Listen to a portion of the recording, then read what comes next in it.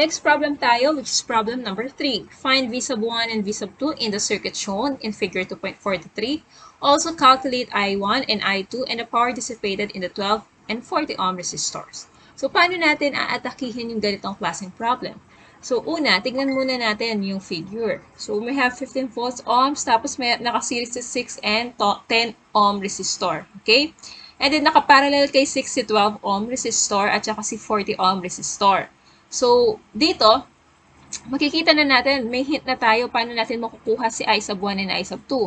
First is, pwede tayong mag-draw. Okay? Pwede tayong mag-drawing ng mga nodes dito. Okay? Kung saan uh, manggagaling si I sub 1 at saka si I sub 2. Okay? Ginawa ko na ng summary, actually.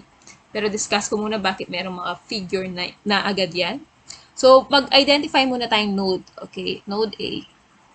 And then, ito node B. Okay, kasi dyan yung pinag-umpisahan. I mean, dyan nang galing si I1. So, basically, una, okay, meron muna tayo uh, current na mag-flow dun sa ating circuit. Okay? Ngayon, si current I will be divided into I1 at saka dito, I current, let's say IA, na dadaan kay 6 ohms. Siya din, kapag dumaan na siya dito sa node na to, uh, madidivide siya kay I2 and then isa na namang current na dadaan kay 10 ohm resistor. So, since meron tayong total current na magpo-flow sa node A and madidivide siya sa, da, sa dalawa, okay, di natin alam kung paano yung division, depende sa resistance ng mga resistors natin. So, yung isa I1, yung isa yung current na dadaan kay 6. Ganun din sa B, isa kay current na dadaan kay 10, and yung isa ay I2. So, at point A, pwede tayong mag current divider. Tama? Para makuha natin si I1. Okay. At point B, pwede din, pwede din tayong mag-current divider para makuha natin si I2. Pero makukuha lang natin si I1 and I2 if alam na natin yung current na papasok kay node A, ganun din kay node B, which is isa lang yon, which is the total current I. Okay, so, bago natin makuha yung total current I, kailangan i-simplify muna natin to. Okay? Magkaroon muna tayo ng isang voltage at saka isang resistor na circuit. Kasi kailangan kunin muna natin, ibalik natin muna siya, i-compress natin siya into a single load circuit. So, pwede naman natin kunin yung equivalent ni 12 and 6. Okay, parallel yan. Kunin natin yung equivalent. Ganun din, pwede natin kunin yung equivalent ni 10 and 40. They are also parallel. Kapag nakuha na natin yon i-add natin yung dalawang yon magiging isang load na lang yung ating circuit, makukuha natin yung I. Okay, kapag kasi nakuha na natin yung I, Okay? We can solve for I1 and I2. Kapag nakuha natin si I1 and I2 using Ohm's law, we can solve for V voltage of V1 and V2 as well as yung kanilang power kasi power is equal to V times I. So, uulitin ko. Una, kailangan natin i-simplify yung circuit. Bakit? Kasi kailangan natin makuha yung I total. Ito yung pag-simplify. Okay? Kailangan natin yung current na papasok kay node A at saka kay node B. Pagkatapos noon, kailangan natin yung I na yon, yung total I na yon, kasi gagamitin natin yung current divider principle para makuha si I1 and I2. And then, kapag nakuha na natin si I1 and I2, makukuha na natin yung mga voltages using uh, Ohm's law. And then, yung mga power using power formula V times I. So, ganun lang siya kasimple, no? Una, yung figure, medyo, ano lang, um, complex, pero kapag sinimplify, ayos siya. So, start na natin yung solution. So, dito na muna tayo sa figure na to.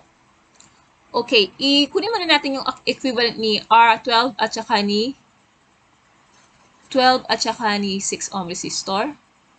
Okay, i-ano natin siya. Ito, equivalent dito. Ayan, ng dalawang yan. Let's say ito ay RA. Tapos ito,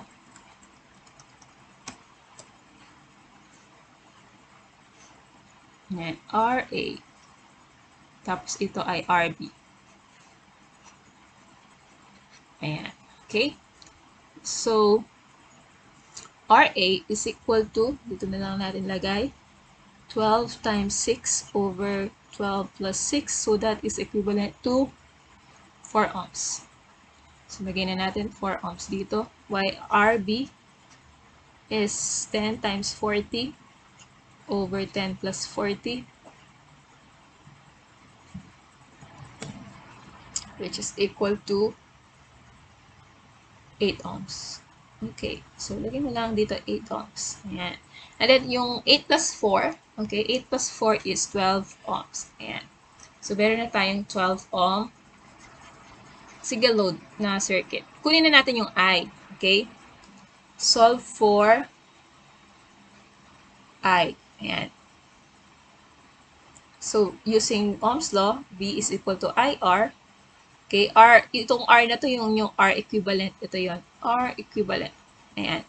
So, I is equal to V. Ano yung voltage natin? 15 divided by yung total, 12. So, that is 15 over 12. That is 1.25 ampere. Ayan. So, yan. 1.25 ampere. So, kailangan natin yung value na yan mamaya. And then, balik tayo. After nun, oh, na-simplify, nakuha na na yung I. Solve na natin yung I1 and I2. Okay, solve. Ay. Solve for I1 na muna. Okay, I sub 1. Using voltage divider tayo, ay current divider tayo. So, hinahanapan natin yung I1. Okay? Galin na natin itong mga to.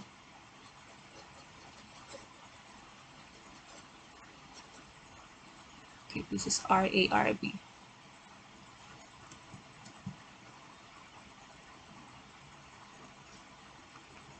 Yan. So, hinahanap natin yung I1, ito. So, ang rule dyan, formula natin dyan, yung katapat niya, yung kaparallel niya yung nasa numerator, tapos yung sa baba is yung sum nilang dalawa, 12 plus 6. So, voltage divider kasi, kung ano yung voltage drop na hinahanap, kung kaninong resistor siya yung nasa numerator. While sa current divider, uh, opposite yung katapat, okay, 6 over 12 plus 6 times, syempre yung kailangan natin, yung kinuha natin kanina, 1.25 ampere. Unit analysis is so 6 over 12 plus 6, so parehas na ohms to, tapos ito is in ampere. So ohm time over ohm, maka-cancel out. So matitira ay unit in ampere. So yung I1 natin is, ilan yan? 0.4167. 416667. Actually, marami 6. Ampere or, okay, i-express na natin into milliamp. 416.7 milliamp. Ayan. So, yan na yung unang uh, unknown na tinatanong. Naku, ay, nakuha na natin siya. Okay, next, ano pa ang required? I sub 2. Okay, I sub 2 tayo. For I sub 2.